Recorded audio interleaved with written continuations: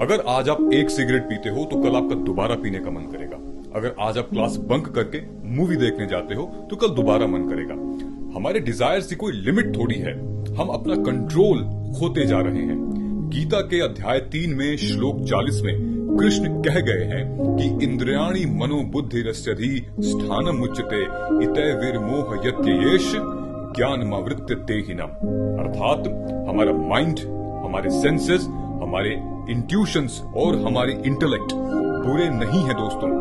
ये हम सिर्फ़ और सिर्फ़ अपने डिजायर्स को परमिशन दे देते हैं कि जा भाई, हमारे माइंड पे, हमारे इंटेलेक्ट पे, हमारे सेंसेस के साथ तू खेल, उसके साथ कंट्रोल कर।